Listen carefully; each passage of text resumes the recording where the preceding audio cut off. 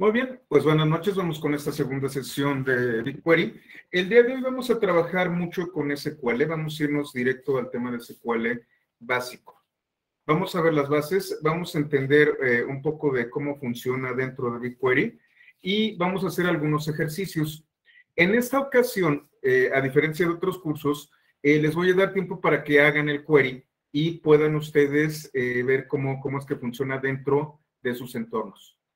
Entonces, eh, voy a abrir un navegador.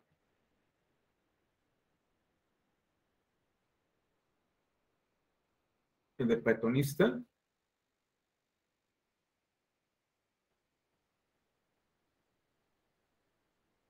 Aquí están. Y ya saben, los apuntes están en github.com, diagonal procesval SP341. Se los voy a colocar en el chat.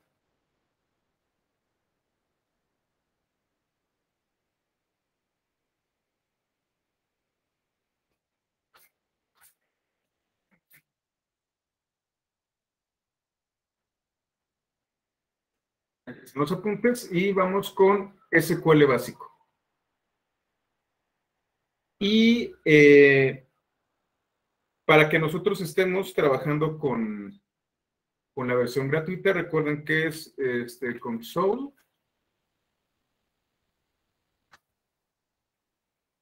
cloud.com diagonal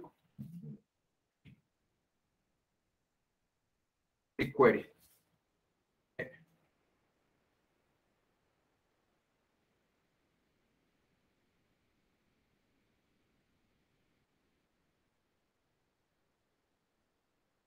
A ver dónde está, denme un segundito.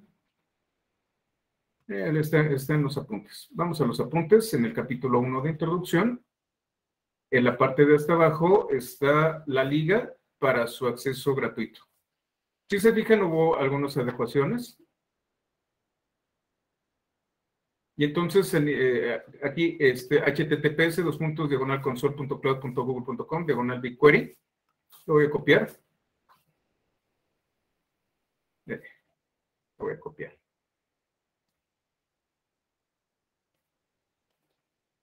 Y se los voy a colocar en el chat.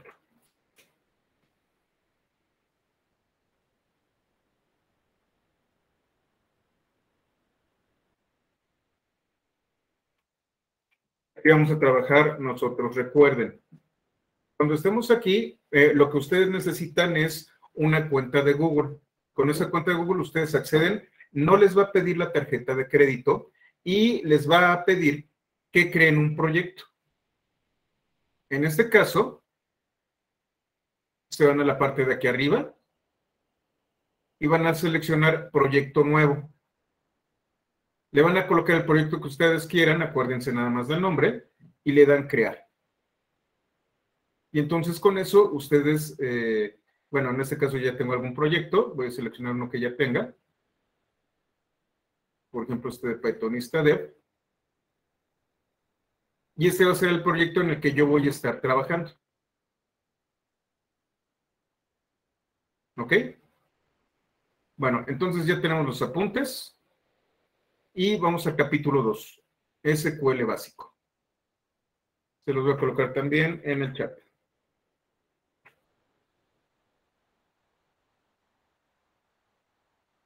Bueno, eh, antes que nada, hay que hablar de SQL. ¿De qué se trata SQL? SQL es un lenguaje declarativo capaz de realizar operaciones de álgebra relacional.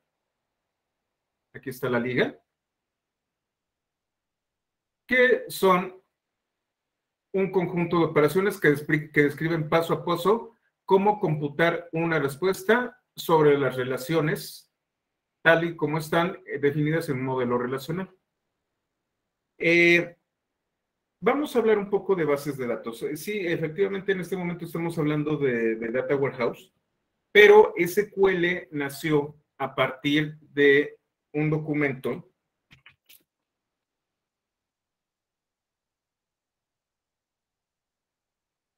Edgar Cott,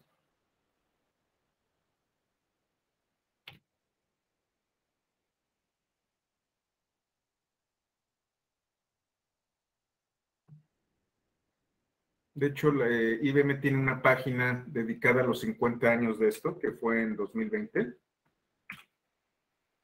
Fíjense nada más, ya tenemos 52 años, llevamos para 52 años de que este señor, Edgar Frank Codd, fuera el creador de SQL. Él eh, creó un paper, déjenme ver si está aquí la, el paper que escribió. Aquí está, y se los voy a colocar también. Esta es la obra seminal de lo que es, eh, son las bases de datos relacionales actualmente. Hace 50 años, este hace más de 50 años, eh, Edgar eh, F. Codd generó este paper para describir el álgebra relacional y cómo se podían crear bases de datos basadas en relaciones entre tablas. A partir de ahí, SQL ha avanzado mucho en las bases de datos relacionales también. Eh, utiliza un álgebra especial eh, que, eh, y aquí es en donde, en donde entran un poquito las matemáticas. posiblemente, como les digo, a lo mejor ya no doy cursos en vivo, pero voy a hacer unas grabaciones acerca del álgebra relacional y cómo es algo, algo que se parece mucho a la teoría de conjuntos, pero que es todavía más grande. El álgebra relacional me permite definir múltiples relaciones entre distintos objetos eh, eh, que tienen eh, ciertas estructuras particulares, que se hacen referencia unos a otros o que hacen referencia uno a uno, uno a muchos, etcétera, etcétera, etcétera, etcétera. lo, que, lo que vale la pena en este momento saber es que, bueno, todo esto se basa en, en papers científicos, en teorías matemáticas, y el álgebra relacional es la base tanto de las bases de datos relacionales como de SQL. SQL eh, es un lenguaje, déjenme ver si lo tengo por acá.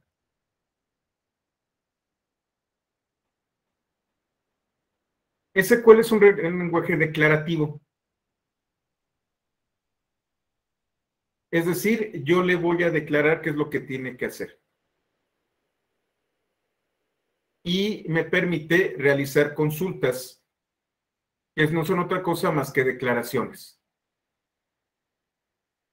La, eh, la Asociación Nacional de Estandarización, este, la American National Standard eh, Institute, publicó una serie de documentos que definen el uso de SQL de forma estandarizada. Es decir, existe un estándar SQL. ¿A quién está ligado Oracle?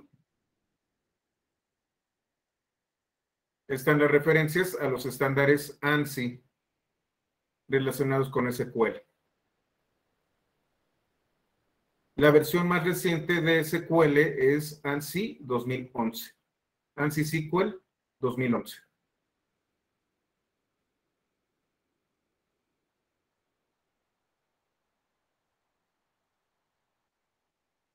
Y aquí hay que hacer también otra, otra, eh, otra anotación. SQL es un lenguaje que me permite a mí ejecutar cierto tipo de, eh, declaraciones y estas declaraciones van a computar y van a extraer datos a partir de las relaciones que yo estoy describiendo. SQL no es un lenguaje de programación, es un lenguaje de consultas. ¿Qué significa esto? Que SQL no es considerado como Turing completo. Turing completo es aquel que tiene un poder computacional equivalente a la máquina de Turing universal. En otras palabras, el sistema y la máquina universal pueden emularse entre sí. Es decir, pueden ser virtualizados. Yo puedo, cualquier algoritmo que yo corra en Python, obviamente con la sintaxis adecuada, pero el algoritmo el mismo, puede correr en Java o en Erlang o en Haskell o en R o en eh, inclusive CSS inclusive puede correr en este Minecraft. ¿Por qué? Porque todo lo que les estoy yo haciendo mención es un lenguaje Turing Complete. Inclusive eh, Minecraft, el, el, este, el engine de Minecraft,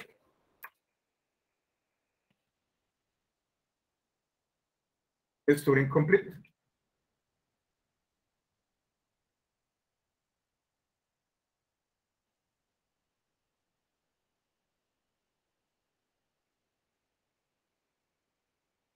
Es decir, pueden ejecutar algoritmos.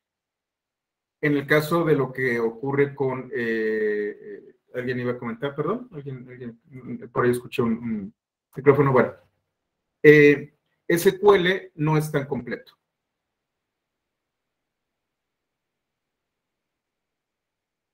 Ahora, BigQuery, como yo les comentaba hace este, el día de ayer, en la sesión anterior, ha evolucionado. Déjenme ver si tengo por aquí una gráfica de la evolución de las herramientas de cloud.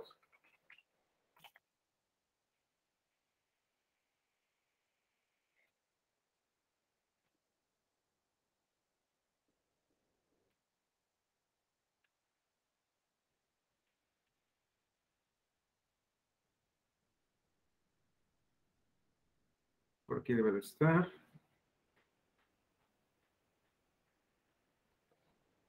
Creo que este, este, este puede servir. Ah, este es mejor.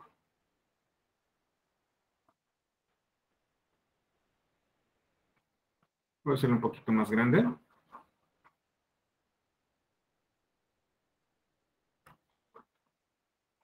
Y aquí está. Estamos hablando de que eh, en un principio eh, Google Cloud tenía únicamente App Engine. Eh, estamos hablando de 2008, estamos hablando ya de 14 años. Empezó a evolucionar sus tecnologías. La siguiente tecnología que, que desarrolló, la siguiente herramienta que desarrolló fue BigQuery en 2010. Estamos hablando de que lleva 12 años de desarrollo y evolución. Luego tenemos Cloud Storage, Data Store, Dataflow, todo esto. Si se fijan, de 2010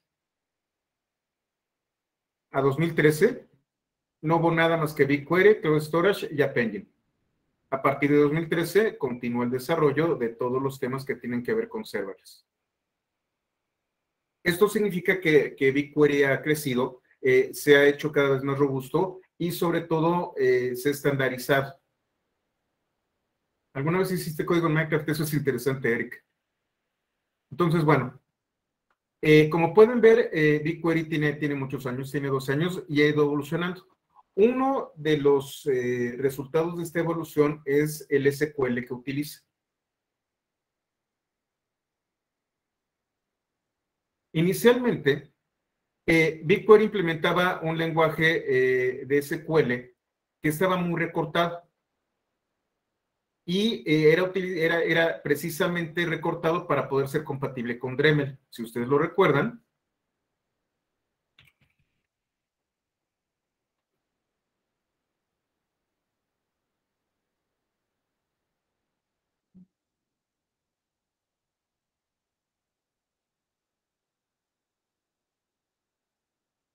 Aquí les voy a pasar este, esta liga.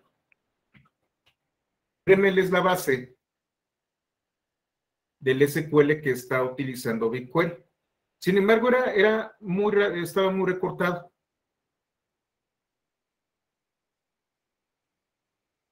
Evolucionó y lo que hicieron los ingenieros de Google es estandarizar. Y entonces tenemos dos versiones de SQL. Tengo un dialecto que se conoce como heredado o legacy. Aquí está la, liga.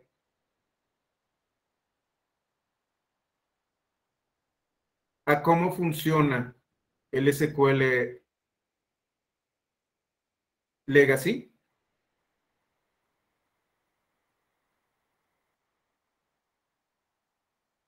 Y tenemos el SQL estándar, que está eh, eh, que, se apega al estándar eh, ANSI SQL 2011. También aquí tengo la liga.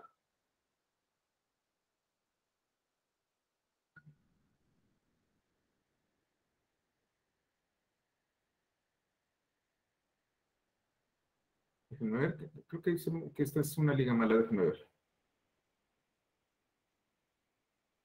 SQL estándar. Sí, esta es.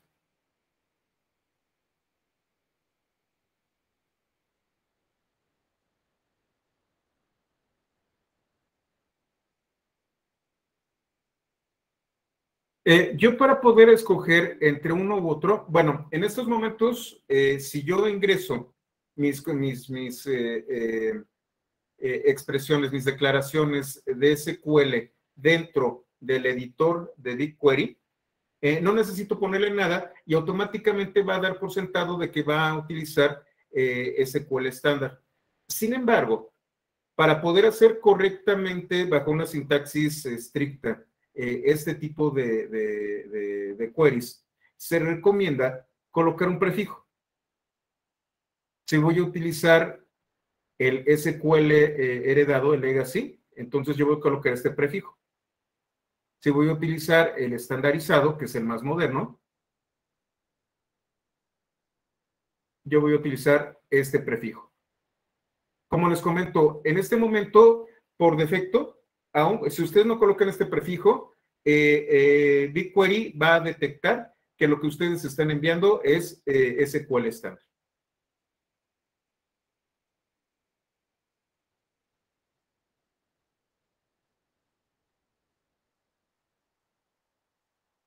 Y aquí viene la parte interesante.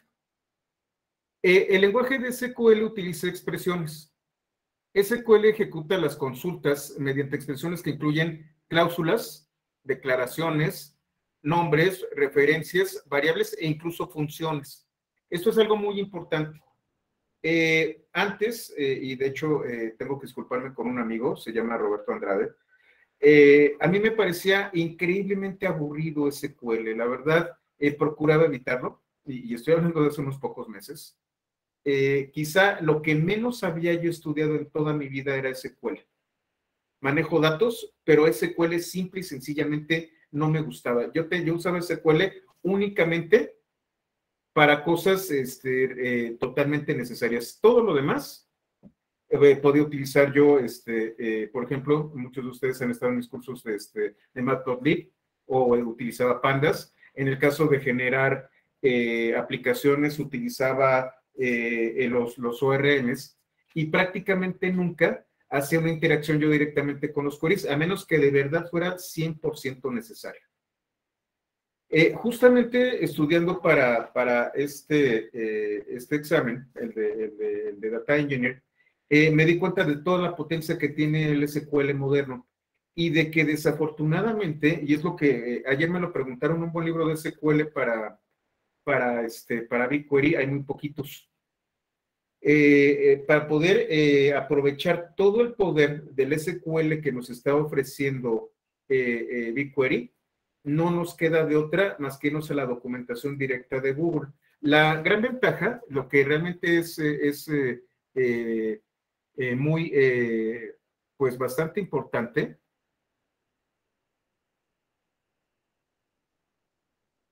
déjenme si lo puse aquí voy a colocar acá. Es que la, eh, la documentación está en español. Y tenemos la referencia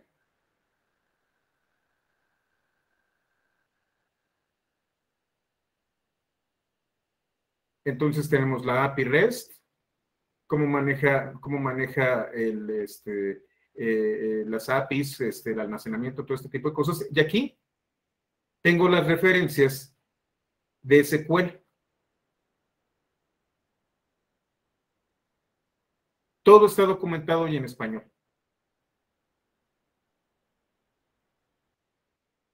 Les voy a colocar la liga y también la voy a colocar dentro de mis apuntes.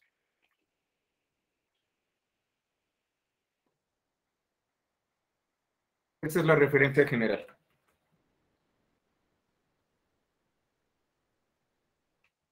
Una de las grandes ventajas que tiene Google Cloud es que, eh, bueno, Google en particular, es que nos permite, como les comentaba en sesiones previas, eh, poder practicar con laboratorios. Entonces aquí voy a colocar SQL, Query, Labs. Y aquí en Quick Labs ustedes van a tener un curso que cuesta un crédito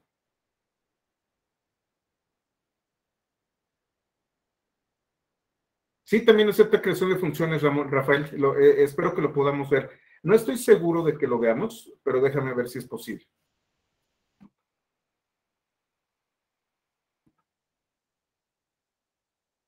Este de aquí es un laboratorio en donde ustedes van a jugar un poquito con algunas de las sentencias. Esto lo vamos a estar haciendo el día de hoy y mañana. Pero si ustedes quieren seguir practicando, pueden utilizar este laboratorio.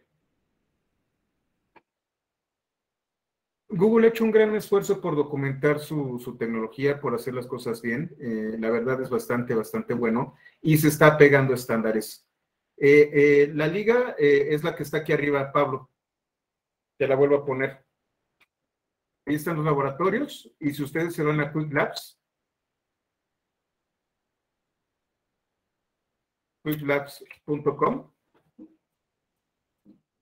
van a encontrarse muchos laboratorios. Hay dos recursos de, aprendizaje eh, autodidacta por parte de, Google Cloud. Están los Quick Labs, en donde tiene un catálogo tanto de cursos como de laboratorios, como de retos.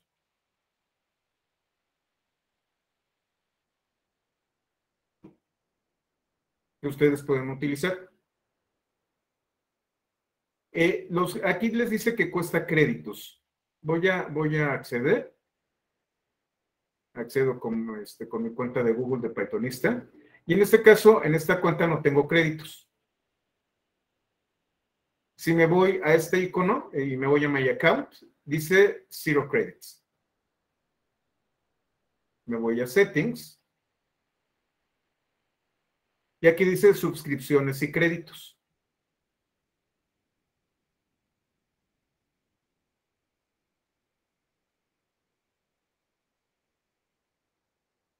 yo puedo comprar créditos a través de una suscripción mensual. O si quiero comprar solamente créditos individuales, le pico aquí, voy a colocarles la, la liga.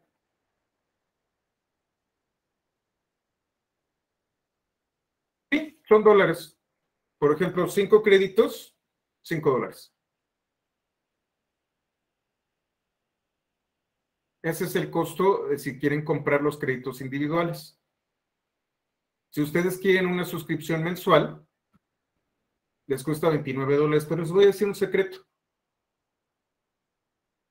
Si ustedes terminan eh, un, este, eh, todo, todo, todo un PAT, y se ganan un batch, automáticamente Google les regala mil créditos para que continúen. El interés de Google no es tanto que ustedes gasten dinero en esto, sino demostrar que tienen conocimientos.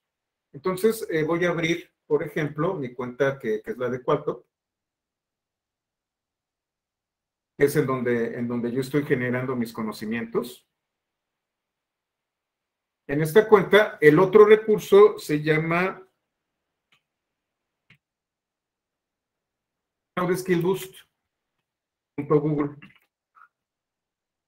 Los voy a colocar en el chat. Eh, ahorita te enseño lo de la certificación. De hecho, de hecho, es muy importante y vale la pena que lo veamos. Accedo. Accedo con mi cuenta. En este caso es la de la, de, eh, la empresa que, que, tenemos en Qualtop, que es la, el partner de Google. Y entonces yo tengo aquí otra vez un catálogo similar al que vimos con Quick Labs.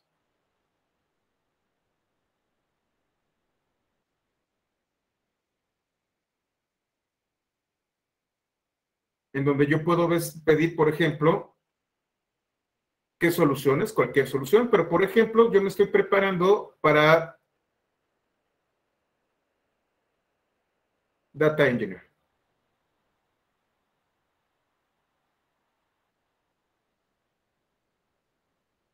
Y entonces me dice, estos son los quests.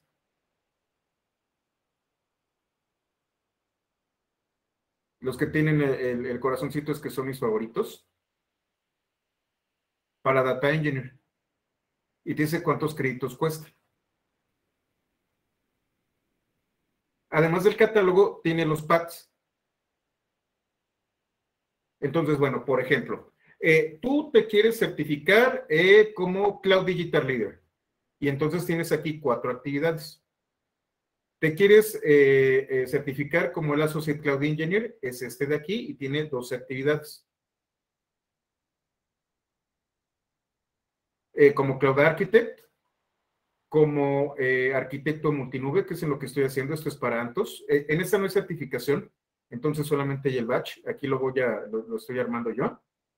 Y por ejemplo, para Data Engineer, este es el path, esta es la ruta de aprendizaje.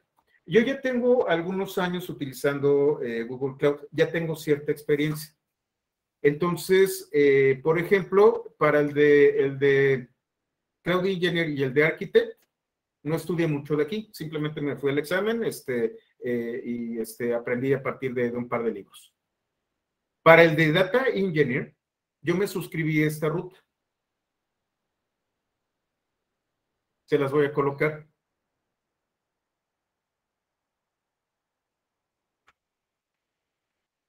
Esta es la ruta de Data Engineer. Y si ustedes se fijan, la ruta tiene varios cursos y varias, y varias, este, varios retos. Son, son, son cursos largos. Eh, normalmente se tardan uno o dos días dedicándole todo el día a cada uno de estos cursos.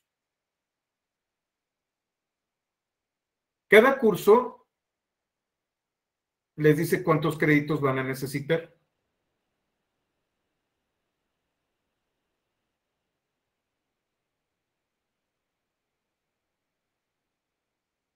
Y entonces, por ejemplo, yo ya que tenía experiencia, eh, únicamente estudié el de Big Data y Machine Learning, este de Data Warehouse, que fue el que, el que hizo que se creara esta capacitación. Este en particular es el que me hizo que me enamorara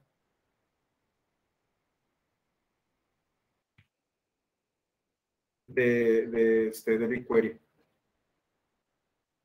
Eh, Eric, honestamente, yo soy agnóstico de las nubes. Eh, donde trabajo en Qualtop, eh, somos partners de Google, entonces pues me están pidiendo que yo sea certificado, tenga mis certificados de Google.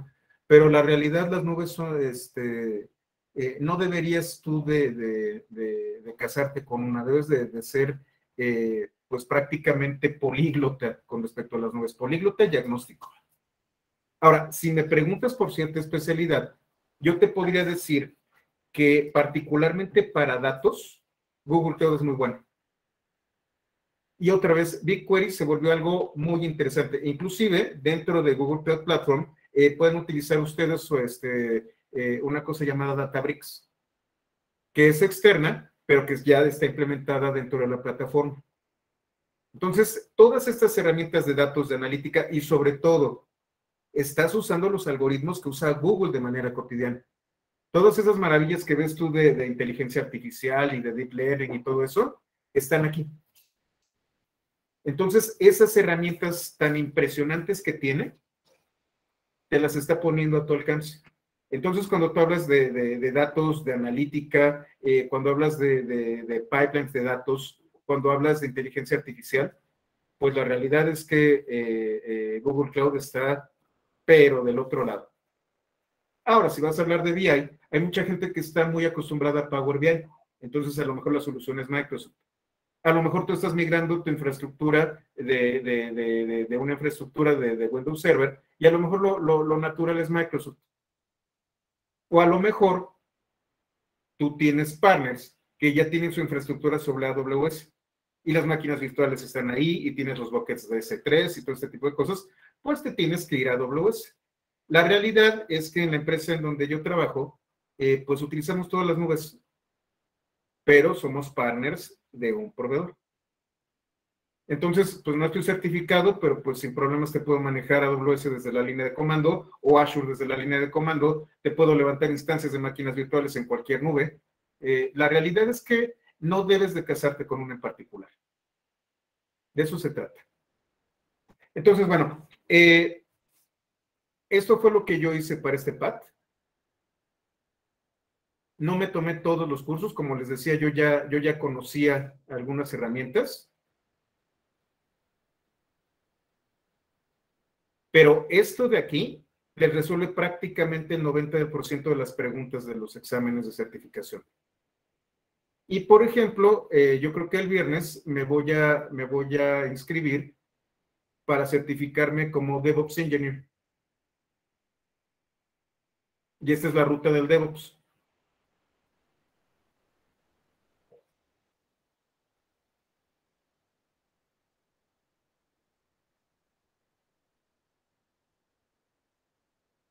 Eh, puedo hacerlo este, desde, desde la CLI o desde, o desde la web o puedo programar APIs, eh, Eric. Eh, de hecho, esa es otra cosa interesante.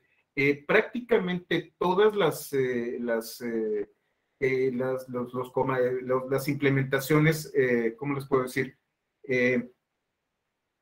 las APIs de la línea de comando, tanto de Azure como de, como de Google Cloud como de AWS, en realidad son comandos de Python que, están este, consumiendo una API REST. Son aplicaciones hechas en Python, que son el comando, y lo que hacen es conectarse a una API REST, la consumen y te despliegan dentro de tu línea, eh, dentro de, de tu terminal. Pero absolutamente todas están hechas en Python. Y esta es mi ruta de aprendizaje, por ejemplo. Ya empecé, esta sí me la voy a aventar completita y aquí viene la parte interesante. Tan pronto como termine, cuando tengo una palomita, me van a dar lo que se conoce como un batch, que son estos de aquí. Y cuando yo me gano un batch,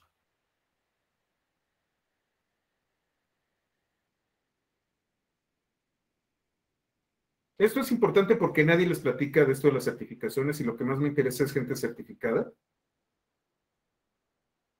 Por ejemplo, el 24 de abril, que terminé, que, me dieron uno de los batch, tan solo por terminar el batch, me regalaron mil créditos. Lo suficiente como para ya no comprar más. Una de las ventajas que tienen es que, como vieron aquí, pueden elegir por 30 días la suscripción. Y si en esos 30 días se ganan un batch, ya no necesitan comprar créditos.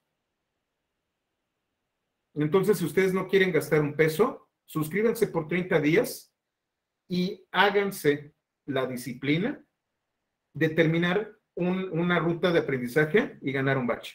Y con eso les van a, les van a, les van a dar mil, este, mil créditos.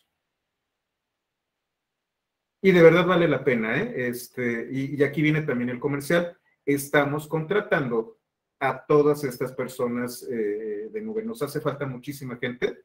Eh, por eso estoy dando estas capacitaciones. Eh, ya me están autorizando a darlas porque necesitamos mucha, mucha gente, no solo certificada que tenga, sino que tenga los conocimientos.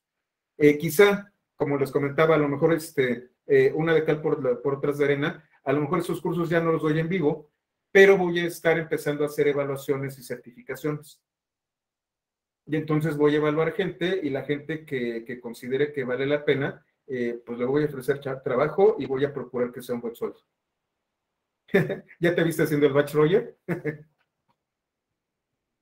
así es, Pablo. Eh, así está la necesidad. Pues bueno, continuamos.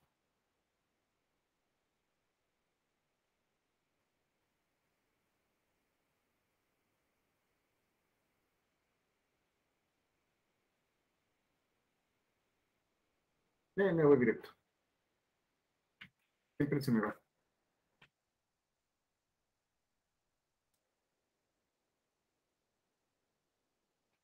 Ahí está. Regreso aquí.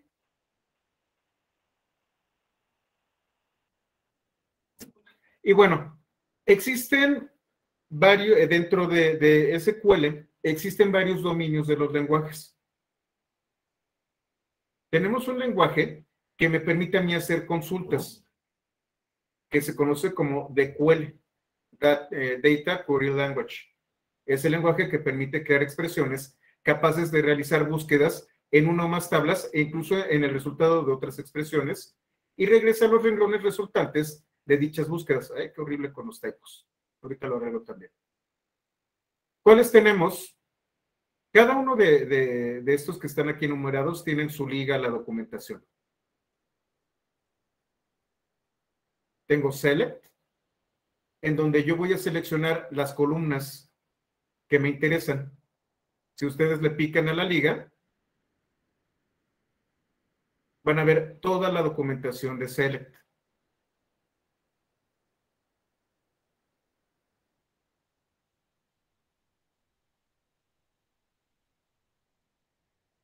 No se queden con lo que yo les enseñé aquí porque es muy poquito.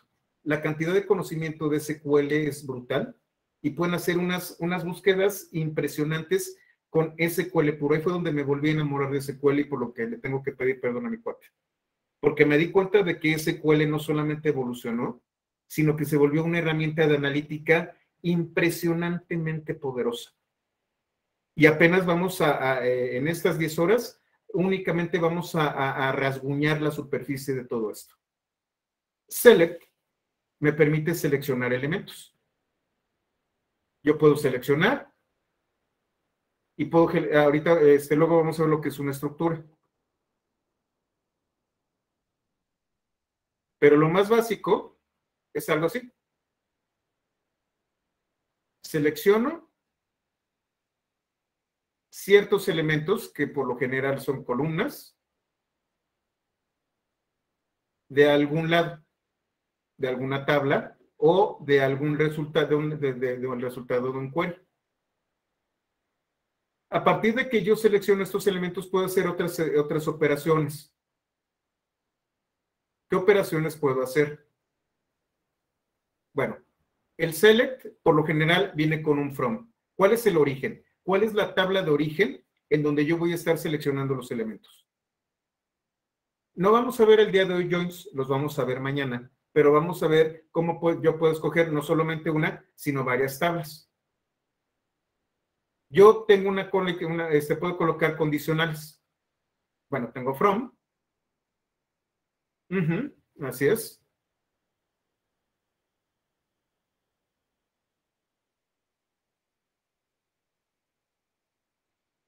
Es una cláusula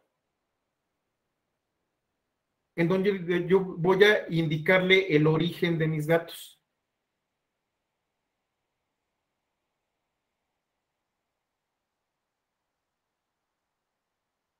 Y yo puedo colocarle alias, es decir, colocarle otro nombre con as. Ahorita lo vamos a ver. Vamos a ver, en este caso, este curso es muy práctico. Entonces vamos a trabajar con algunas consultas.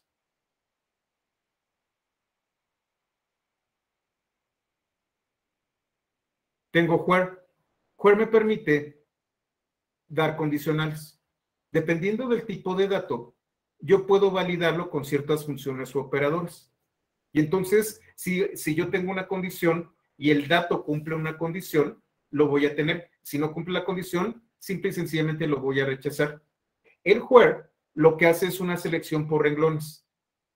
Mientras que select y from son from, normalmente son tablas y select son columnas, where hace una búsqueda por renglones, por, eh, por registros. Sí, ya sé estructuras, este, Rafael, está padrísimo. Eh, lo vas a ver. Yo puedo agrupar utilizando group by. Group by agrupa a las filas en una tabla con valores que no sean distintos a la expresión. Entonces, por ejemplo, yo tengo eso que se llama puntos, en donde estoy ejecutando una función de suma, ahorita vamos a hablar de las funciones, y voy a agrupar mis datos, por ejemplo aquí, por el apellido y puedo agrupar de distintas maneras. Puedo agrupar primero por el, por el último apellido y luego, por el segundo apellido. Group by me permite agrupaciones. Lo vamos a ver en un momentito más. ¿Qué otra cosa podemos hacer?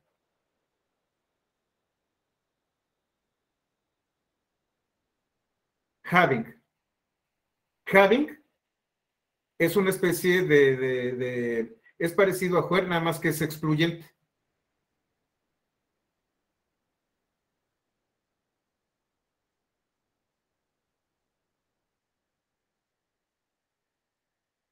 Having siempre va a ejecutarse después de un group by o de una agregación, es decir, cuando voy a agrupar algo.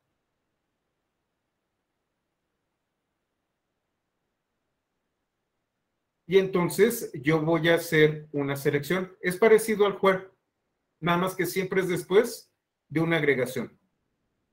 Tomando en cuenta, having, que la suma de los puntos es mayor que 15, por ejemplo.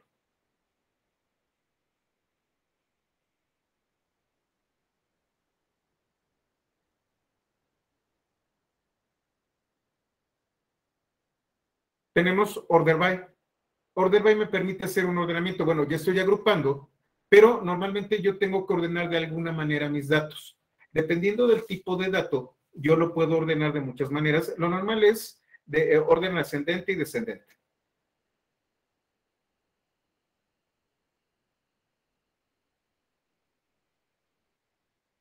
Déjenme hacer algunas cosas.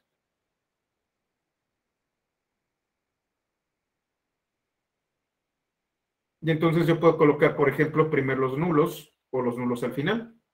Puede ser ascendente o descendente. Y entonces yo puedo colocar algunas cláusulas.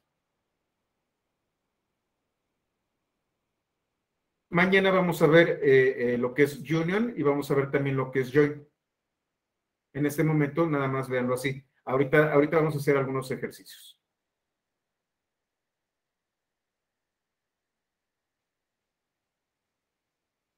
Entonces, lo que estoy haciendo es hacer un ordenamiento y los nulos, por ejemplo, van al final.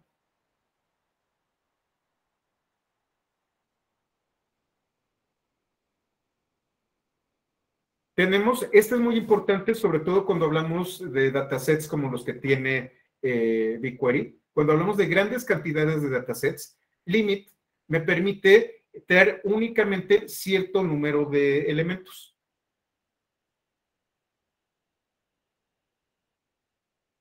Tráeme dos, los primeros dos. O tráeme tres, pero a partir de, este, después del primero. Por cierto, eh, a diferencia de otros lenguajes de programación, y aquí hubo inclusive un pleito en Twitter, bastante, bastante este, eh, barroco el asunto, eh, la numeración de las listas dentro de SQL empieza en 1, no empieza en 0. Entonces aquí lo que estoy diciendo es a partir, es después de uno, tráeme los datos. Entonces yo puedo paginar. Efectivamente, Rafael, con eso minimizo los costos y los tiempos de procesamiento. Limit me permite colocar un límite a, los datos que me va a traer. Y offset me permite la paginación. Y entonces tráeme los primeros tres después del, después del 1.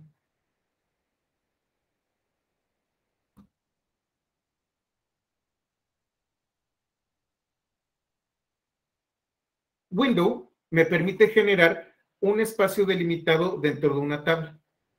Este no lo vamos a ver este, completamente, pero vale la pena que al menos veamos su documentación. Vamos, eh, lo que sí vamos a hacer es particionar.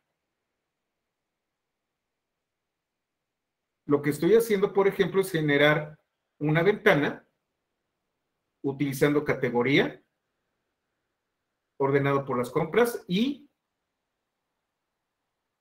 generando ciertas columnas que voy a seleccionar. Esto es una ventana. Lo vamos a ver, pero lo vamos a ver yo calculo que mañana o el viernes.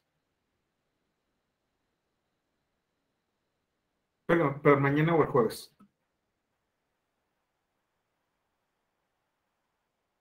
Vamos a ver Qualify, también el, el día de mañana. Qualify filtra los resultados utilizando funciones analíticas. Eh, vamos a ir hacia las funciones. Yo puedo aplicar una función y si esta función me regresa un true, entonces lo voy a utilizar. Qualify solamente se va a utilizar con funciones. Mientras que yo, el where, puedo utilizar cierto tipo de expresiones que utilizan operadores, Qualify solamente utiliza funciones. Esta es una función.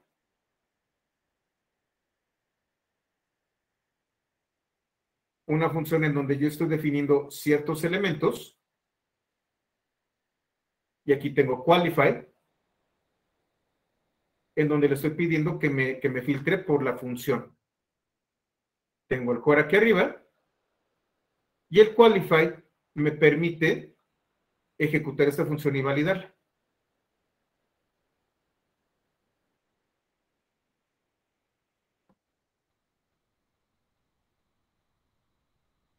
Como ven, esto está creciendo y es enorme. Cuando veamos el tema de cast, cuando veamos el tema, el tema de, este, de, arreglos y de estructuras, se van a dar cuenta de que SQL es algo increíblemente complicado. De hecho, las estructuras, los famosos structs, son la respuesta que tiene SQL a JSON. Y lo vamos a ver.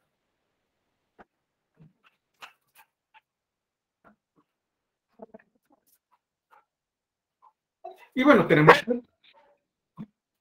WIT que me permite generar declaraciones en donde yo estoy dando algunos supuestos previos.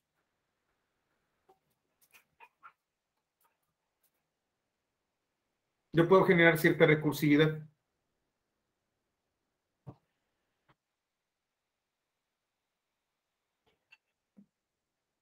Por ejemplo, aquí lo que estoy haciendo es crear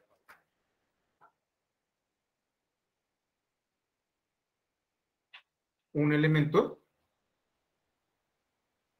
y lo estoy haciendo, este, ¿cómo se llama? Iterativo. Creo, creo subco 1, 2 y subco, y, subco 2. Perdón, subco 1 y subco 2. Y entonces con este with estoy generando operaciones repetitivas. El with también lo vamos a ver el día de mañana. Hoy vamos a ver únicamente lo básico.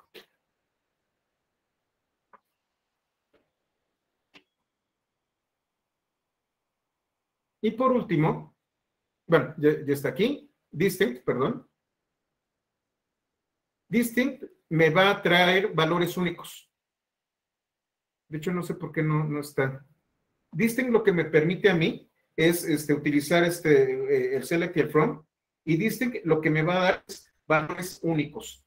Si hay valores repetidos, me va a tomar uno únicamente y es el que me va a traer. Esto me permite generar mis queries, mis, mis consultas. Eh, puedo revisar las tablas y trabajar dentro de esto. Dentro de estas consultas, eh, sí vamos a utilizar case, vamos a utilizar join, vamos a utilizar eh, varios elementos dentro de select from. Eso lo vamos a hacer el día de mañana. De hecho, déjame ver el case.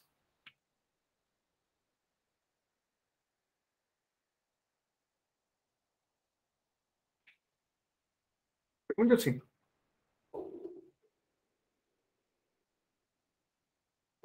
Sí, aquí está la función.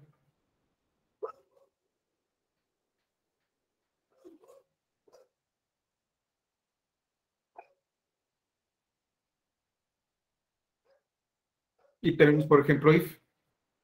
Ahorita vamos a ver. Ahorita vamos a ver las funciones que también son una cantidad brutal. Tenemos lo que se conoce como el Data Definition Language. ¿De qué se trata esto?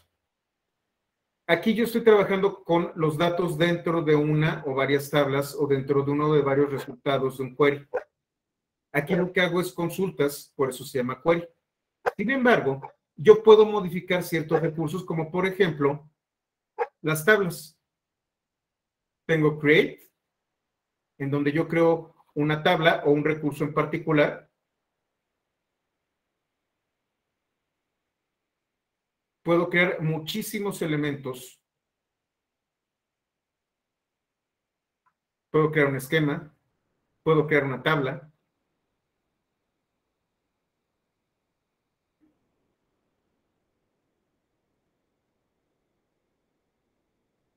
Aquí están todas las opciones de las tablas que yo puedo crear. Como ven, es enorme.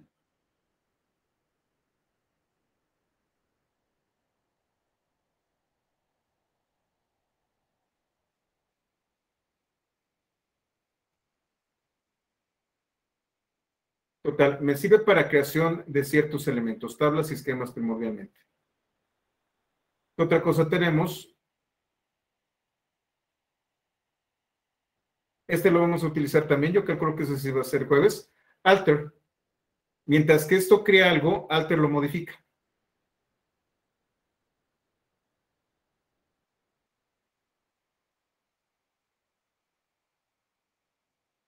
Obviamente necesito ciertos permisos, pero puedo alterar un esquema, por ejemplo. Y puedo colocarle ciertas opciones a este esquema.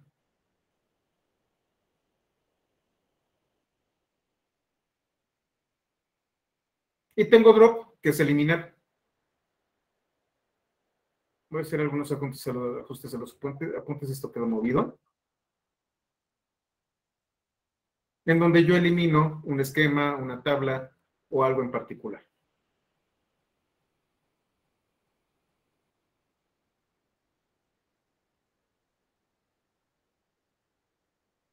De hecho, de lo que vamos a estar hablando también son de las diversas estructuras que tiene, que tiene eh, BigQuery. Vamos a ver qué es esto del esquema que no es otra cosa más que el dataset. El dataset tiene tablas. También nosotros tenemos una tabla de tipo snapshot, que, es algo muy parecido a, este, a, una, un este, respaldo. Tenemos tablas externas. Yo me puedo conectar a una tabla que no necesariamente está dentro del almacenamiento de, este, ¿cómo se llama?, de, de BigQuery. Eh, y es lo que también vamos a ver. Yo calculo que eso va a ser el viernes cuando les hable de cómo se extiende BigQuery. BigQuery tiene, tiene una herramienta llamada BigQuery Omni que se puede conectar con, eh, por ejemplo, se puede, ya hablando de multinube, eh, este, BigQuery Omni se puede conectar directamente con S3 de AWS o se puede conectar con bases de datos on-premise y entonces extiende sus conexiones y puede acceder directamente a tablas externas. Vamos a ver cuáles son las vistas, también lo que es un Materialized View. Y bueno, era lo que ustedes, lo que comentaban. Yo puedo crear mis funciones, puedo generar funciones definidas por el usuario, también las puedo eliminar. También tiene procedures, los famosos store procedures, e inclusive yo puedo definir ciertas políticas de acceso, y eso es lo bonito también de, de, BigQuery, yo puedo generar políticas inclusive a nivel de renglón.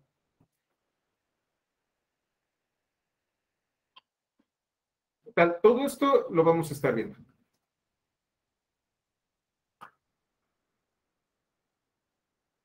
Por eso estamos hablando de un lenguaje de definición de datos. Este, este lenguaje, estos comandos, me permiten modificar las estructuras dentro de mi dataset.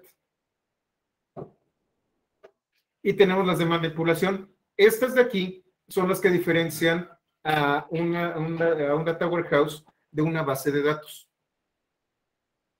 Estas de aquí insert, update, delete y merge no se utilizan tan seguido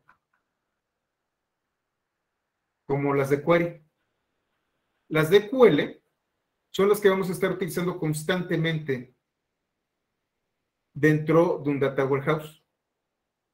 Estas operaciones no van a ser tan, eh, eh, tan comunes como ocurre con una base de datos relacional. Insert, update, delete y merge el famoso ABC, es altamente transaccional. Mientras que en BigQuery, en un Data Warehouse, nosotros hacemos consultas, consultas a datos que ya existen.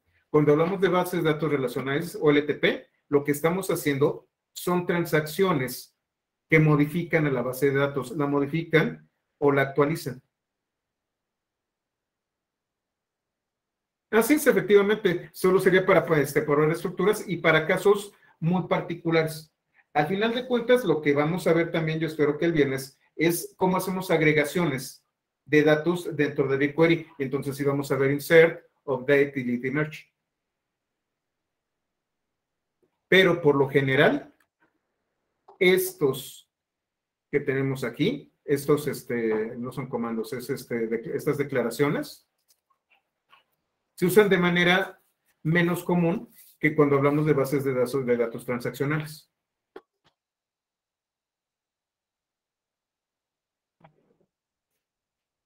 Declaraciones.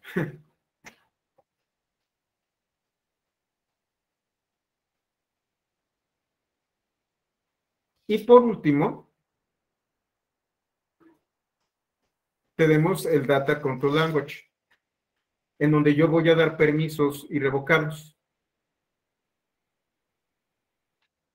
Yo voy a definir roles y los voy a quitar. Este es el más pequeño.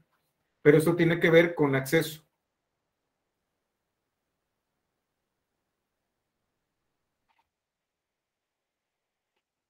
Y bueno, tenemos el lenguaje procedimental, pues si ustedes les gustan los store procedures, también lo pueden hacer. Y algunas otras declaraciones. Ahora, además de los, de, los lenguajes, yo tengo datos. Sí, ya se dieron cuenta de que no me gustan los store procedures. No, no me gustan. pero bueno, los pueden hacer. Los tipos de datos también son muy complejos dentro de Google. Y aquí es en donde, nos vamos a maravillar un poquito. Miren, 404, qué maravilla. Creo que lo copié mal.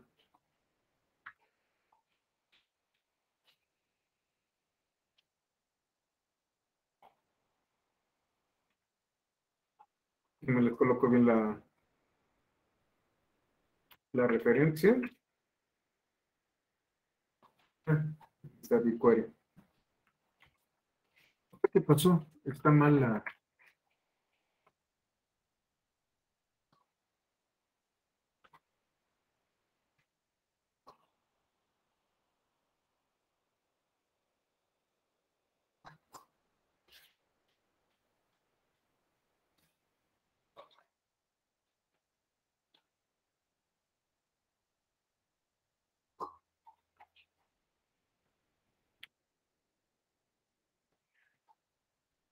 los tipos de datos que utiliza BigQuery, bueno, ya, ya saben ustedes, tenemos, y se los voy a colocar aquí en la, en el chat correctamente.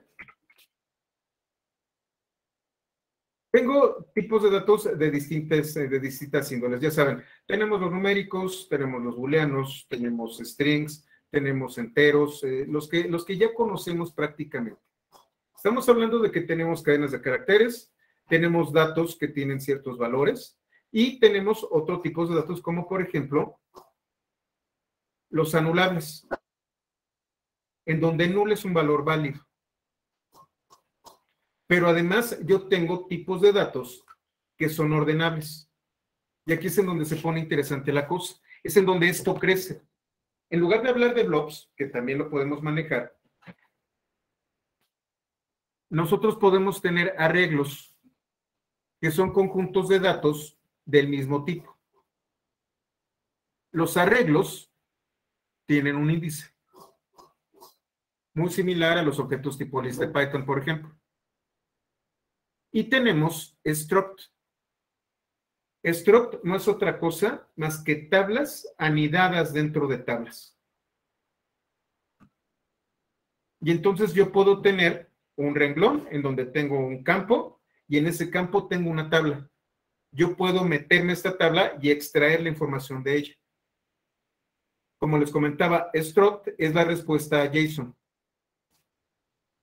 Y lo más bonito de todo esto es que BigQuery puede procesar estructuras anidadas.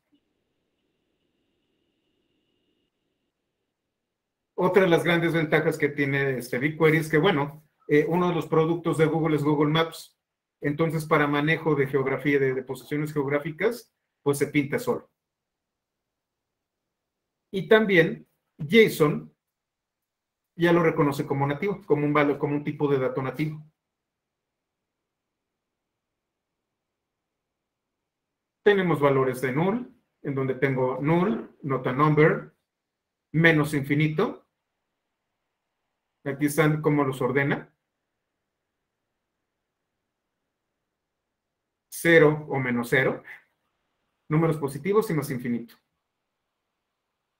Cuando yo le voy a pedir ordenar algo, empieza primero por null, luego por nota number y luego por menos infinito. Va de menor a mayor si lo hago en orden ascendente. Tengo tipos de datos agrupables otra vez.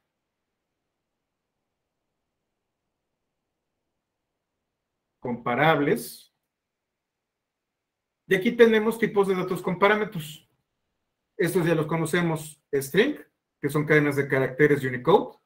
Bytes, en donde estamos hablando de este, representaciones en código ASCII que son números que, este, utilizan bytes, numéricos y numéricos grandes.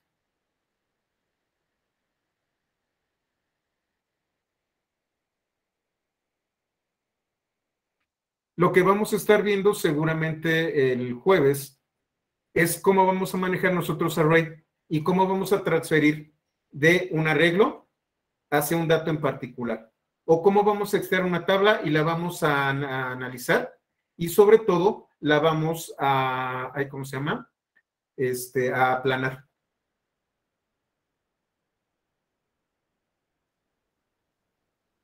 Y entonces aquí viene una de las cosas, Pablo, que, me gustaría discutir contigo posteriormente, tú, tú que estás muy metido en, el tema de bases de datos, eh, ya que nosotros tenemos struct, ya no tenemos la gran necesidad de normalizar las bases de datos. Cuando nosotros hablamos de Data Warehouse, lo que vamos a hacer es, eh, eh, vamos, vamos a, este, a, denormalizar y a crear estructuras dentro de nuestras tablas de bases de datos. Eso es un proceso de ETL que, es bastante, eh, bastante interesante y que digamos que es una deconstrucción de lo que nosotros, hacemos, nosotros hacemos con nuestra base de datos transaccional.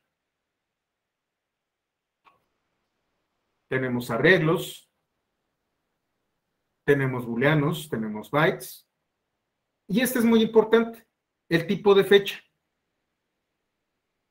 El tipo de fecha se da con esta estructura. Para empezar, utiliza comillas normales.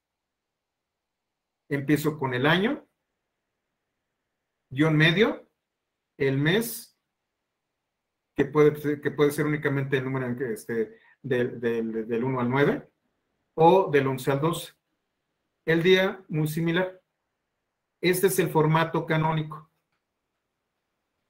Yo puedo tener también un formato de fecha. Bueno, date time.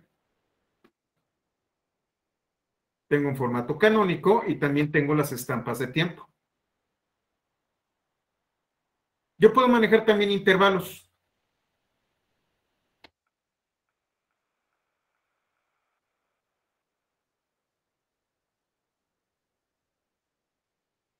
que por ejemplo puede ser 1.5 de años o meses, o tres días, o 12 horas minutos. Los tipos JSON, tipos numéricos, que tenemos todos estos. Numéricos decimales,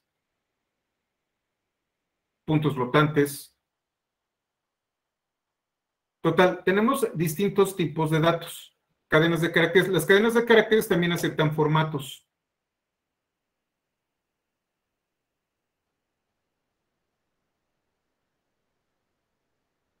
Y una de las características que también tiene BigQuery, que de hecho es algo que, vamos a ver al final de, esta sesión, es el tema del manejo de tiempos y sobre todo el de ordenamiento por tiempo. Tenemos marcas de tiempo, timestamp. Y bueno, por defecto, y esta es otra cosa que, que debe quedar muy clara, BigQuery va a almacenar fechas y horas, pero siempre van a estar en relación al meridiano de Greenwich. Es decir, eh, si por ejemplo eh, en este momento son las 9, lo va a guardar como eh, GMT-5. Estaremos hablando de que, de que serían las, las 2 de la mañana. 9 más 5, no, sí, las 2 de la mañana.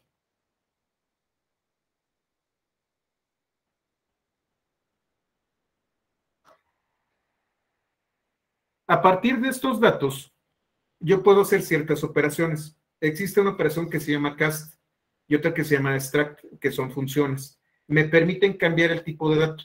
Me permiten generar cierto tipo de, funciones que van a extraer fechas, por ejemplo, con, con extract, y lo vamos a ver ahorita. Además de todo esto, yo puedo generar nombres, puedo utilizar referencias, como por ejemplo lo, que vimos ayer que, que hicimos referencia a un dataset, y también eh, puedo, puedo este, utilizar algunos, algunos este, datos que no déjenme ver. Aquí en estructura léxica.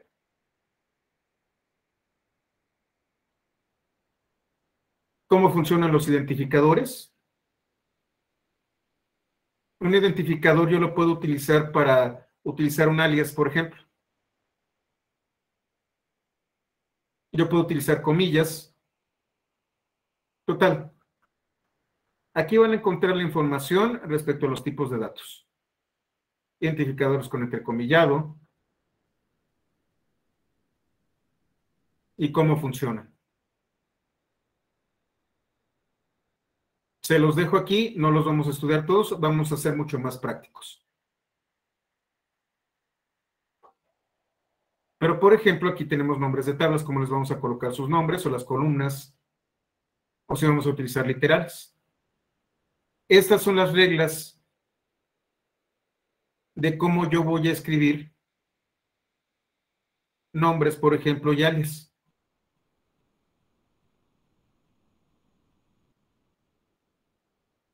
Otra vez, esto ya es muy técnico. Se los dejo aquí porque tarde o temprano lo van a utilizar. Pero vámonos a hacer un, poquito más prácticos. Ya vimos que tenemos literales, que ya tenemos eh, ciertos eh, eh, ciertas declaraciones, que ya tenemos eh, ciertos elementos con los que yo puedo jugar con el lenguaje, pero además yo tengo funciones. Déjenme, me regreso a los apuntes para que vayamos en ese orden. No sé si se me vaya a pasar algo más.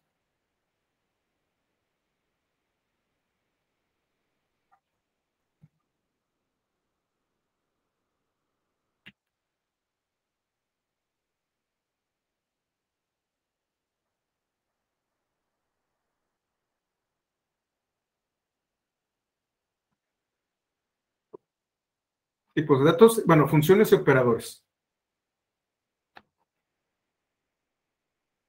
Tenemos una cantidad brutal de operadores. Bueno, tenemos operadores y condicionales.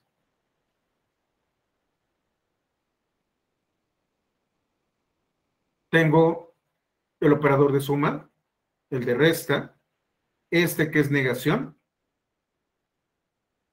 este que puede hacer referencia a multiplicación, división. Este me permite concatenar. Otra vez este operador, pero para estos valores.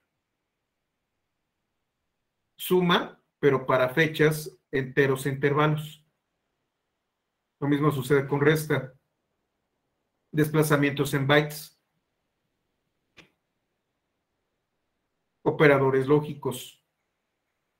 Eh, en el caso de, en el caso de SQL, si yo quiero evaluar si se trata de un valor idéntico, se utiliza únicamente un solo signo de igual.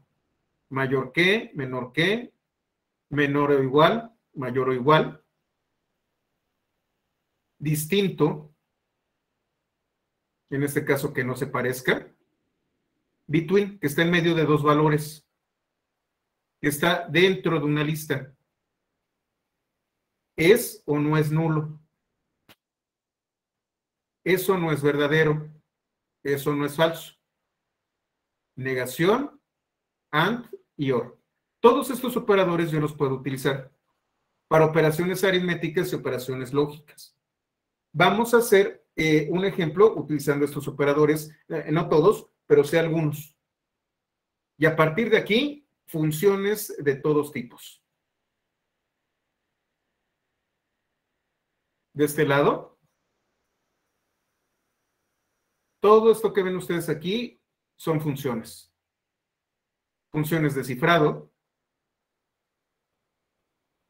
De agregación analítica es para sacar sumas, promedios, correlaciones, cuentas mínimos, máximos.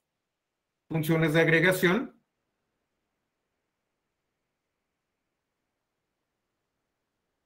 donde yo puedo buscar cualquier volumen o puedo utilizar un arreglo agregado o puedo hacer concatenaciones.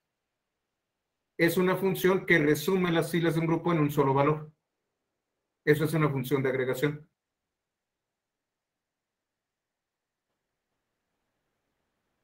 Saco máximos y mínimos. Es parecida al de analítico, pero con algunas adiciones.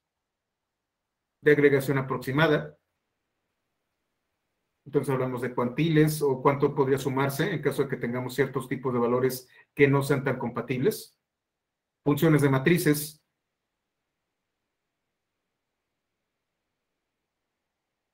De bits.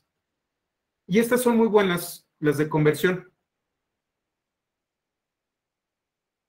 Y entonces, por ejemplo, yo tengo cast. Cast me permite pasar de un tipo de dato a otro. De hecho, el resultado de una expresión lo convierte en un tipo de dato en particular. Esto lo vamos a ver mañana.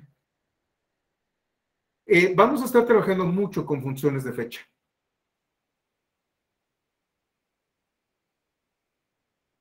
Vamos a trabajar, por ejemplo, hoy con extract. Extract, yo voy a sacar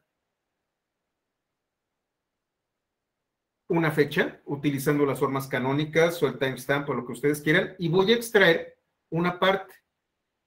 Puedo extraer un día de la semana, solamente el día, la semana a la que corresponde, etcétera, etcétera, etcétera. Y me va a regresar un tipo de dato entero de 64 bits. Funciones de fecha y hora con algo similar, que también tiene extract funciones de, depuración para cachar errores para, para, para este, lanzar excepciones. Funciones de consulta federadas. Vamos a ver lo que es un external query. Que no es otra cosa más que una consulta en una base de datos externa. Fíjense nada más. De hecho, esto es lo que yo estaba platicándoles ayer. BigQuery tiene la capacidad de conectarse, por ejemplo, a, Spanner o tiene la capacidad de conectarse a una instancia de Cloud SQL que tiene MySQL. Pero cuando yo hablo, por ejemplo, como les digo, me voy a adelantar un poquito, de BigQuery Omni,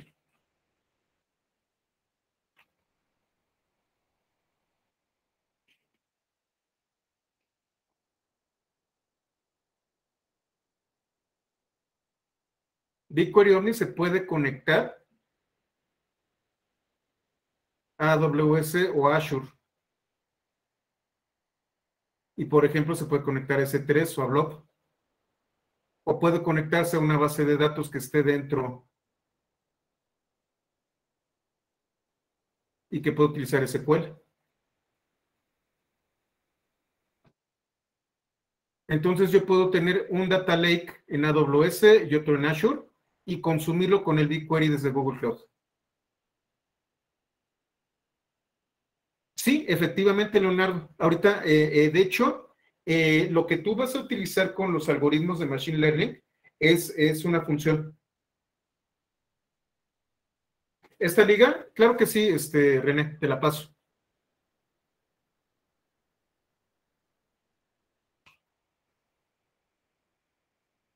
Sí, de hecho, de hecho está bien interesante. No son todos los eh, algoritmos, Leonardo, pero sí hay varios. Eh, de hecho, no lo vamos a ver, pero, pero déjame lo de tarea y te, y te paso las referencias de donde puedes aprender más, aprender más sobre, sobre BigQuery, Machine Learning y los algoritmos que está utilizando.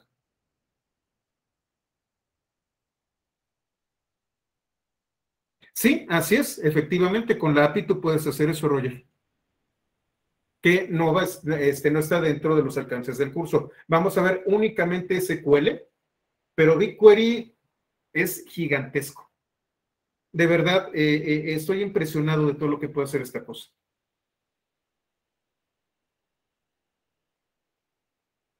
Y bueno, no me voy a ir con todas, tengo, tengo funciones este, hash de intervalos, intervalos de tiempo.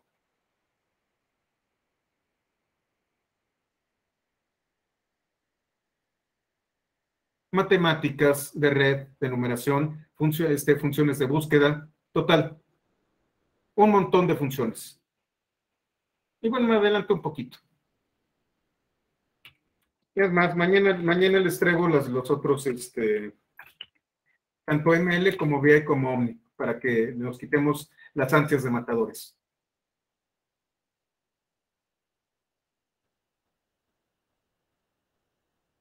Maneja regresión lineal, regresión logística, logística multiclase, eh, eh factorización de matrices, series de tiempo, eh, árboles, eh, deep learning con redes neuronales, y puede aplicar AutoML, que es, que es la API de, de Machine Learning que tiene ya por defecto Google, para las tablas.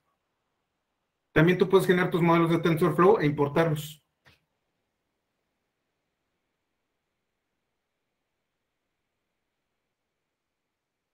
Entonces tiene los algoritmos por defecto y tú puedes aplicar los de los de este Machine Learning de, AutoML o traerte los, tus, modelos de TensorFlow. Está bien bonito, este, eh, eh, Leonardo. Bueno, vamos a continuar. Sí me da tiempo.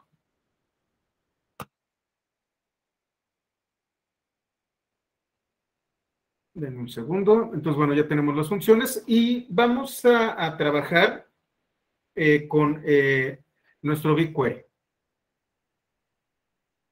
Voy a abrir otra ventana. Va a ser con, con esta de aquí.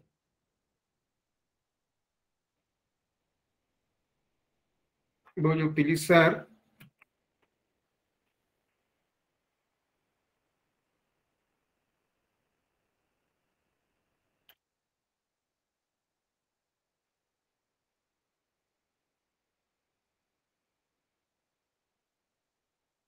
me había querido, déjenme hacer algunas cosas para que, para, para empezar todos igual. Otra vez, si no quieren ustedes pagar, lo que tienen que hacer es irse a esta URL. Deben de tener ya un usuario de Gmail. Y les va a decir que, que creen un proyecto. Se van a esta parte de aquí. En este caso yo ya tengo un proyecto creado que se llama BigQuery Demo si no lo tienen, se van a New Project y le dan el nombre del proyecto y Create. Y con eso. Eh, les va a decir que no tienen organización. Es correcto.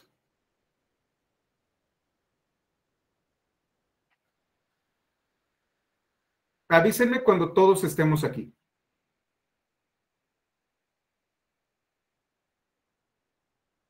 Vamos a darles tres minutos. Ah, perfecto, muy bien. Y vamos a abrir los apuntes.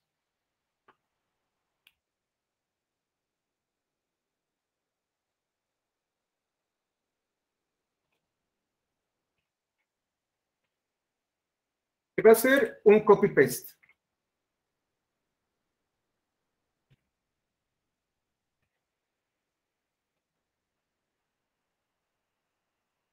Y vamos a ejemplos. Es el capítulo 3. Vamos a ir, vamos a utilizar el lenguaje de queries. Y este lenguaje de queries lo voy a hacer un poquito más grande. voy a utilizar este dataset que se llama Chicago Taxi Trips.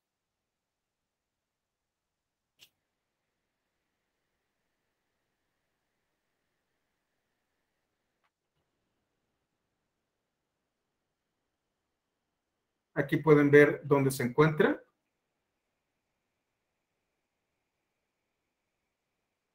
Y habla sobre los viajes que se han dado en Chicago este, en los últimos años, creo que a partir de 2017. Tiene, un, e, esta es la estructura. Tiene 23 columnas que están definidas aquí y tiene 187 millones de, renglones.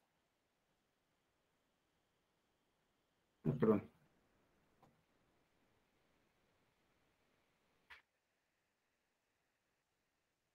El primera generación de ese de, de DataScience, ¿qué es eso, Miguel? Perdón. Este es el proyecto que se generó para las pruebas. Eh, ah, sí. Eh, eh, no, o sea, sí, Sí, Miguel, sí puedes utilizarlo. Eh, de hecho, de hecho, sí lo puedes usar, este, particularmente porque creo que no, no estamos consumiendo ahí. Eh, utilízalo. Si te genera problemas, lo vemos. Ok, gracias. Pero sí, úsalo, Miguel. Entonces, este, este es el dataset. Pueden, pueden ver de, lo que se trata. Pueden, pueden inclusive este, eh, ver, ver, ver este, todos los datos aquí.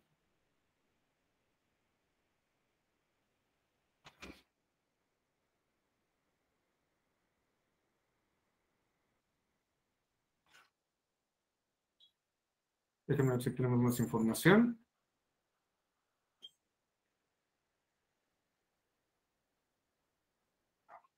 Bueno, a partir de este dataset vamos a hacer algunos queries. ¿Qué tenemos?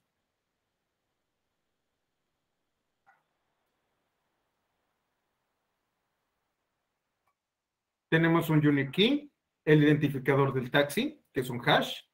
¿Cuándo inició? Si ustedes se fijan, está en un formato de fecha canónico. No es cierto, no es canónico. ¿Cuánto tardó el viaje? ¿Cuántas millas?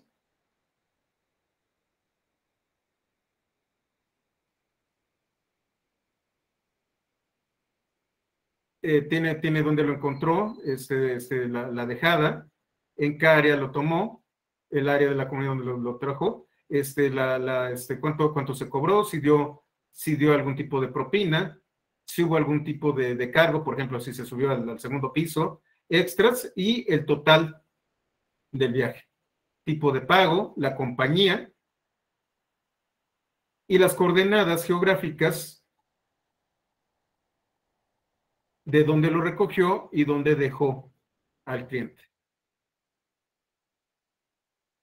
Vamos aquí a BigQuery y vamos a los apuntes. Vamos a medir tiempos. Vamos a hacer un primer query. Este de aquí. Todos, si se fijan, la referencia a este dataset es BigQuery-medio public, medio data, punto Chicago, taxi, trips, punto taxi-trips. Y la referencia siempre, de hecho esta es pregunta de examen de, Data Engineer, siempre deben de utilizar estas comillas que van hacia abajo, que están, que están inclinadas, este, eh, eh, como, como si estuviera apuntando hacia las 4 de la tarde.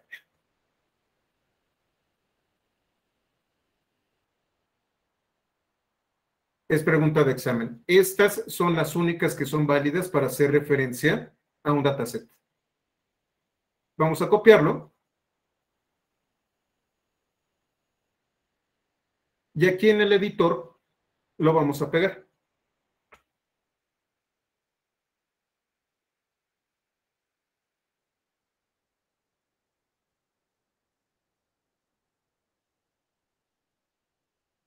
Qué no me lo está dejando? Denme un segundo.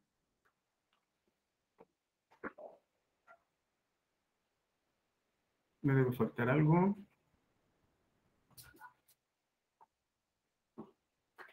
Vamos a añadir datos. Add data. Explore public datasets.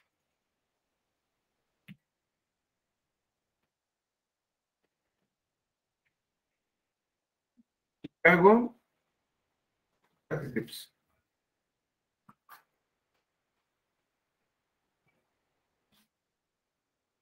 Aquí está.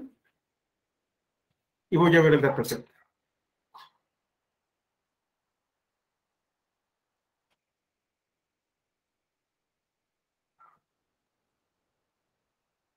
Va de nuevo. Add data. Explore public datasets.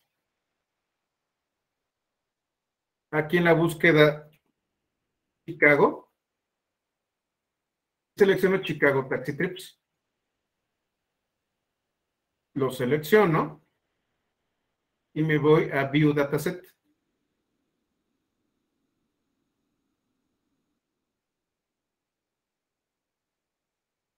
¿72.47 gigas. Yo creo que e, ese es el tamaño.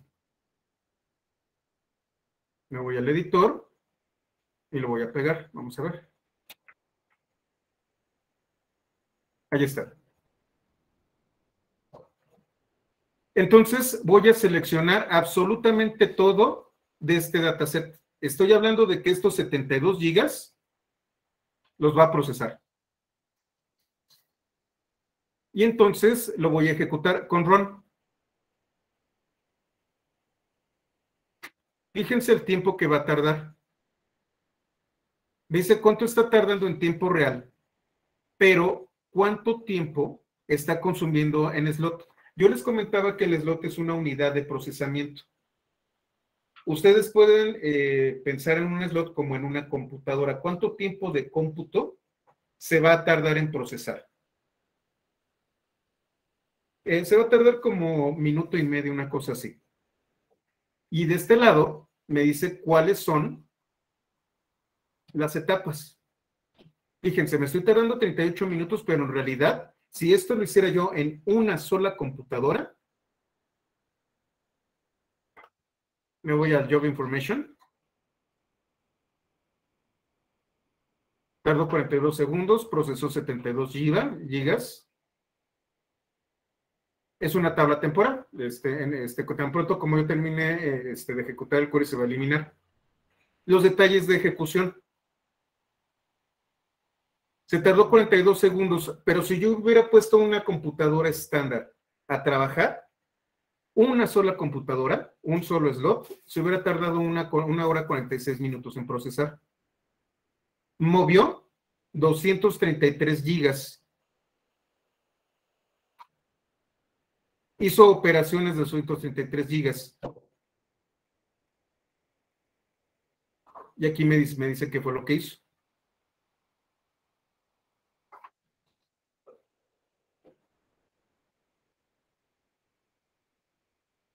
son las operaciones que realizó para ejecutar este query. Los resultados, estamos hablando de que tiene mil, millón, 199 millones de operaciones, casi 200 millones, déjenme ver. 200, 200 mil, sí, 200 millones de operaciones.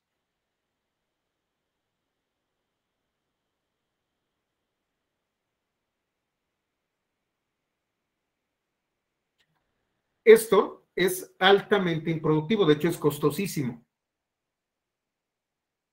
Si, se acuerdan ustedes, yo tengo derecho a un terabyte y ya me eché 200 gigas. No lo vamos a volver a hacer, así que no se preocupen. Vamos a, este, vamos a, refinar esta búsqueda. El select asterisco es muy caro. Porque cuando nosotros hablamos de BigQuery, cuando yo utilizo el select asterisco, eh, BigQuery está enfocado al análisis de columnas. Le estoy diciendo que haga una selección de todas las columnas efectivamente se te va el dinero en segundos. hay que tener muchísimo, muchísimo cuidado con los precios y los costos. De preferencia, hay que evitar el, select asterisco. Eh, yo voy a buscar cierto tipo de temas. Y entonces vamos al ejemplo de aquí. No lo configuras, Jorge, lo tienes que hacer. ¿Cómo puedo yo evitar estos costos? Bueno, con límite. Y entonces en lugar de buscar en los 200 millones, voy a buscar únicamente los primeros mil. Copio. Sustituyo. Y ejecuto.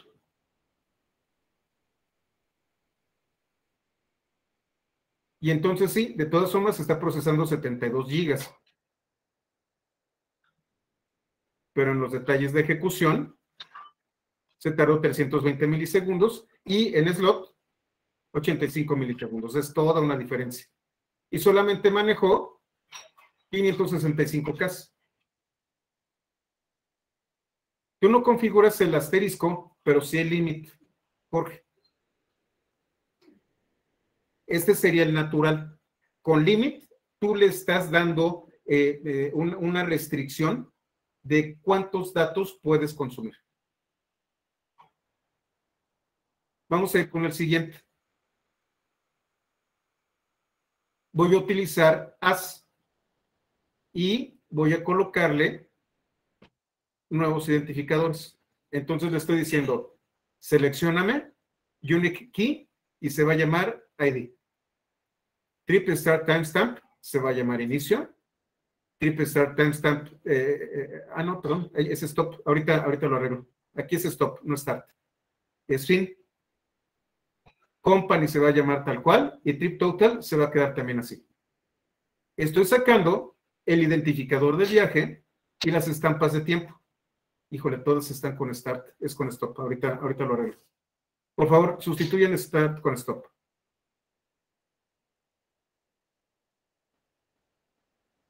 lo copio.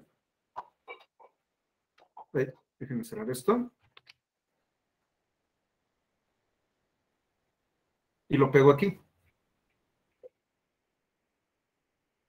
Entonces voy a traerme únicamente las columnas ID,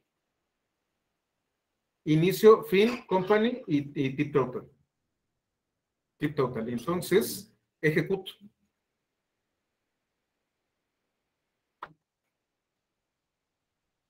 marca un error ¿dónde? En, Creo que es stop.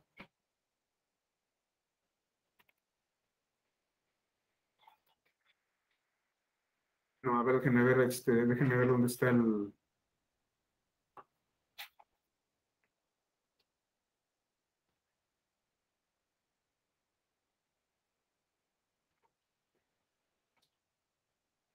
End, así es, end, perdón, es strip end. Gracias.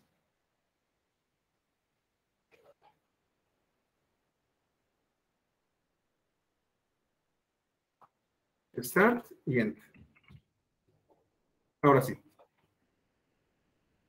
Ejecuto y me va a traer únicamente las columnas que yo le estoy indicando. Sí, Luis. Eh, José Luis, buenas noches. Eh, lo que te cobra entonces son los bytes procesados, porque estoy viendo que que una consulta con el límite y me sigue diciendo bytes facturados 72 gigas. Así es. Sí, pero no fueron, si, te fijas, aquí donde dice eh, detalles de ejecución, lo que te va, lo que te va este, a cobrar son bytes shuffled. Ah, ok. Ok, perfecto. Pero con eso también tienes una idea de, del tamaño del, del, query. Ah, sí, es que como digo, bytes facturados y veo la misma cantidad, pues entonces pensé que era lo mismo. Sí. Vale, gracias. Listo, muy bien. Eh, de todas formas, este, vamos a hablar de precios al final. Este, no te voy a mentir, déjalo, lo confirmo, pero si según yo es únicamente son los shuffle, pero, pero lo vemos. bueno, vamos a continuar. Entonces, lo que estoy haciendo, ya me voy a Results y entonces tengo, lo voy a expandir. Y entonces tengo el ID, inicio, fin, compañía y tip total. Y tengo los mil resultados.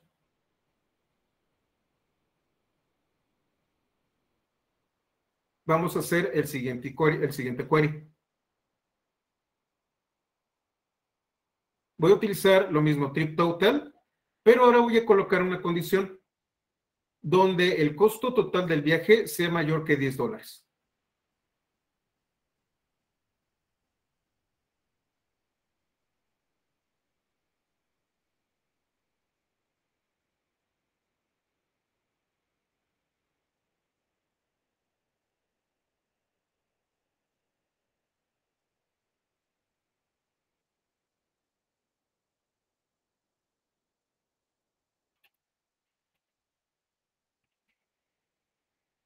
Y lo corro.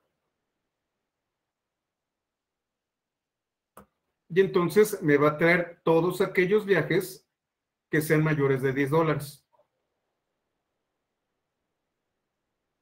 Vamos haciendo el query todavía más específico.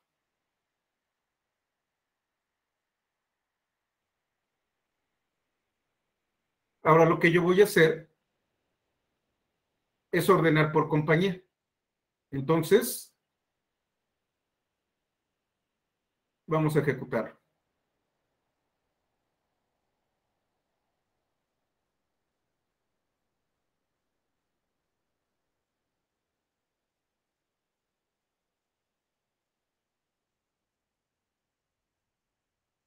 Entonces, que cueste más de 10 dólares y que esté ordenado por la compañía que lo, que lo, este, que, dio el servicio.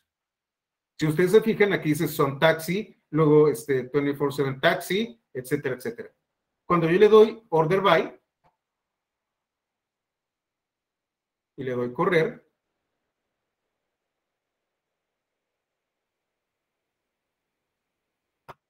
fíjense, ¿se acuerdan ustedes del orden? Lo primero que va a ordenar cuando es ascendente es el null. Yo tengo taxis que no están indicando la compañía a la que le pertenecen, a la que pertenecen. A lo mejor es un, es un taxi independiente o hay algún error en la captura.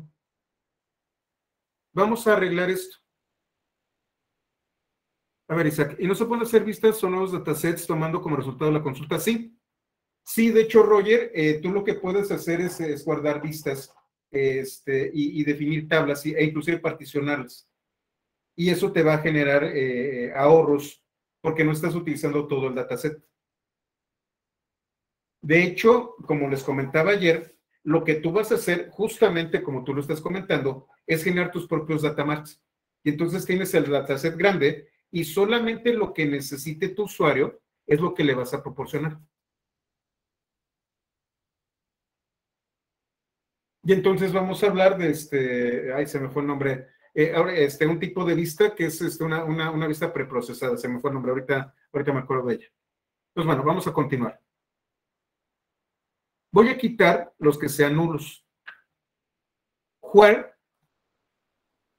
me permite añadir condicionales como este, también elementos como ando, como or, vista materializada. Gracias, Pablo.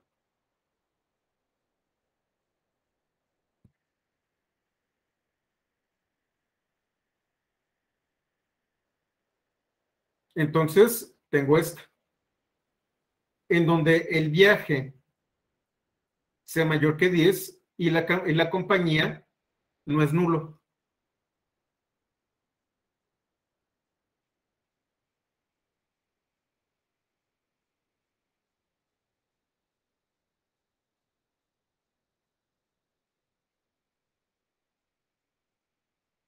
Sí, y luego lo pasas a Data Studio, efectivamente. Y entonces aquí está la compañía y si se fijan, empieza con el número 0, son los valores numéricos.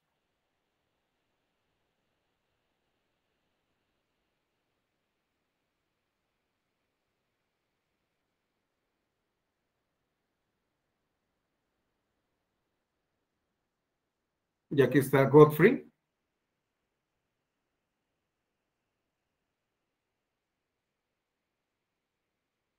Son muchos de Godfrey.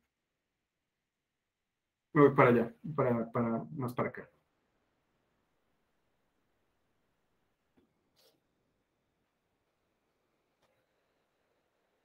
Bueno, Godfrey tuvo muchos.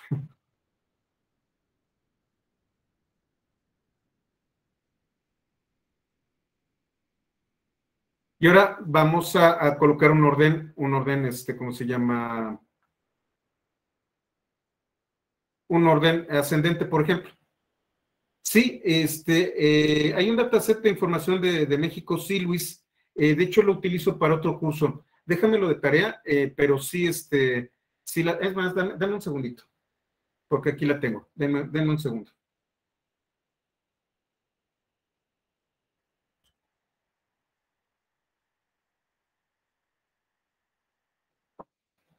Sí, lo, lo utilizo para, para hacer algunos análisis. Estos son los datos del CONACIT, se los voy a colocar en el chat. Y es un dataset relativamente, relativamente bueno que podemos importar. Esa es otra que vamos a hacer, cosa que vamos a hacer, importar tablas, también está dentro del alcance del curso. Entonces, este que, este que utilizo es la fuente del CONACIT.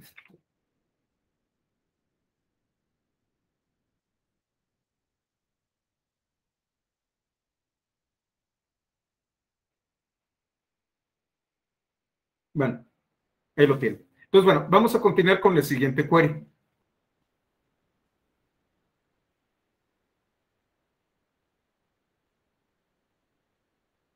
Ahora va a ser orden descendente. Si se fijan aquí es order by company, pero ahora descendente.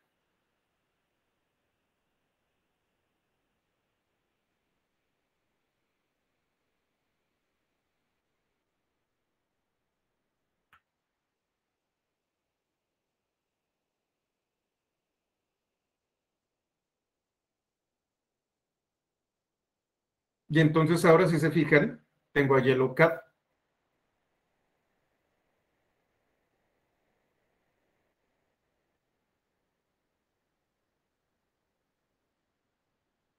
Ahora, esto sí es interesante, pero vamos a hablar un poquito de tiempo. ¿Qué, ¿Qué, pasa si yo de repente quiero decir, sabes que no quiero todo el dataset? Yo quiero única y exclusivamente aquellos viajes que, por ejemplo, fueron en el 2017. Sí, sí se pueden comentar líneas de código. Ahorita, ahorita me acuerdo cómo le hago. Una vez.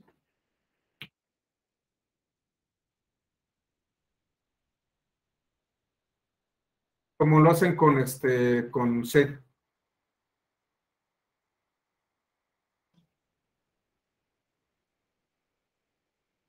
Ah, ¿dónde está? Aquí está.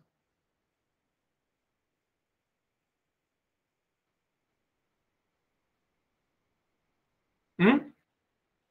Gracias.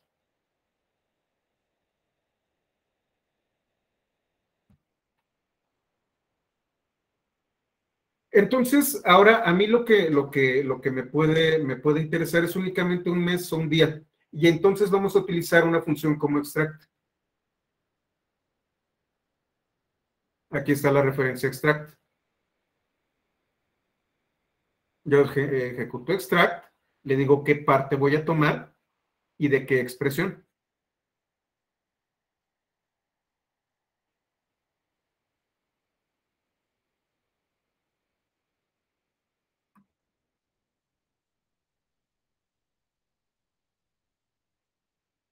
Aquí tengo, si se fijan, varios ands.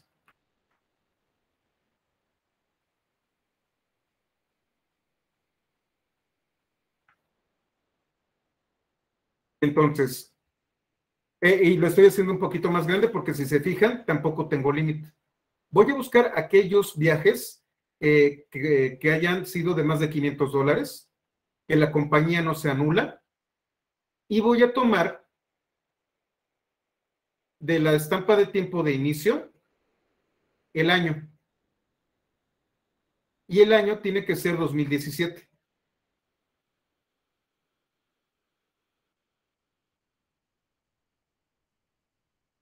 Y entonces, estoy, estoy, este, ¿cómo se llama? Ordenando por compañía descendente y por fecha de inicio. Y entonces el 16 de enero, Yellow Cab tuvo un viaje de 507 dólares.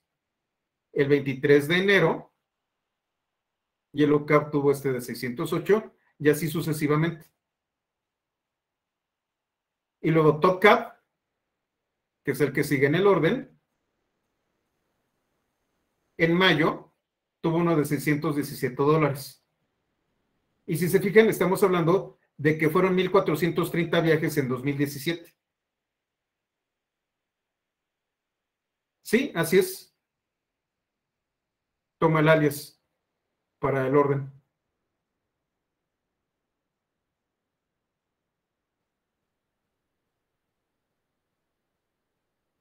Efectivamente.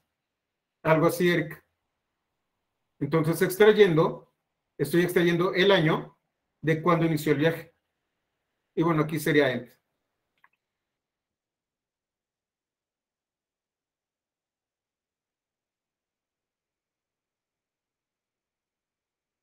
Y entonces yo puedo hacer analítica de este tipo de, de, casos con estos queries. Estos son los queries básicos. Nos vamos a enfrentar a datasets que tienen estructuras internas y necesitamos extraer esas estructuras. Y entonces vamos a hablar de arreglos y vamos a hablar de struct y vamos a hablar de otro tipo de elementos. Mañana vamos a ver lo que son las vistas, vamos a ver las tablas, vamos a ver cómo podemos particionar las tablas y vamos a hacer pues un poco eh, más eh, este, eh, más complejos con estructuras anidadas. Eh, de eso se va a tratar la clase de mañana. Vamos a hacer, hacer un poquito de teoría como lo hicimos y nos vamos a dedicar también a hacerlo directamente con un dataset que ya tengamos preparado. ¿Ok? ¿Hasta aquí todo claro?